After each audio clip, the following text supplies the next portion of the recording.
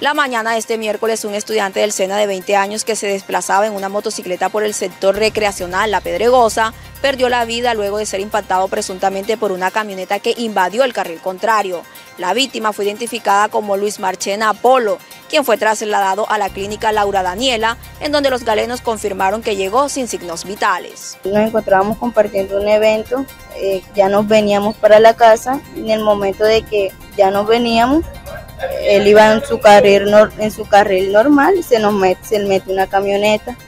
y eso hace que él salga volando y se un golpe en la cabeza y ahí quede tendido. Bueno, ellos lo que hicieron fue que se, echaron a reír, dijeron que mi hermano tenía la culpa de, que el que se metió en el carril, sabiendo que ellos venían con una, una metiéndose en los varios carriles y no se dieron cuenta que mi hermano iba ahí, se lo llevaron.